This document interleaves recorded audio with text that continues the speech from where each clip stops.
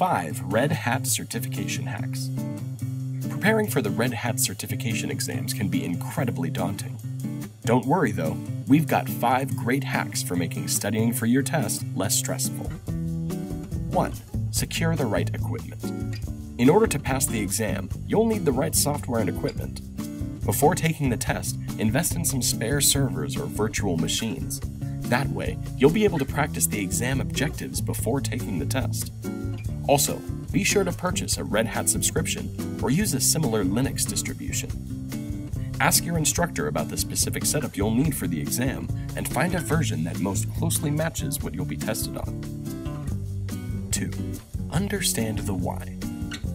Red Hat exams are more about doing than reading, but you should always know the why behind the what. If you only take the time to stuff your head with the details and commands, you're more likely to freeze up when confronted with a problem. Understanding the fundamentals will help you figure out how to work through any problem you might encounter during your exam. 3. Reboot early and often. Don't wait until you've completed all the tasks to reboot your machines. If you wait until you're finished to check for issues, it might be too late to fix them. Reboot after every major configuration so that you can immediately identify any problems and fix them. 4. Read the instructions it may seem obvious, but too many people end up failing their exam because they didn't take the time to properly read the directions. Fully understanding the guidelines may save you valuable troubleshooting time during the exam.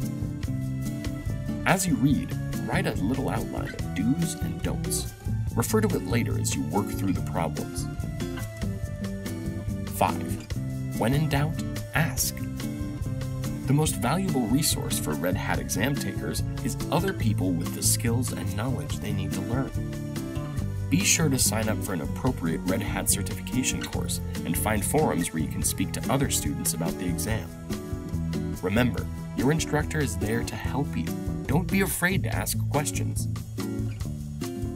Want more Red Hat exam tips? Visit New Horizons Learning Group at www.nhlearninggroup.com for lots of great educational resources and studying ideas.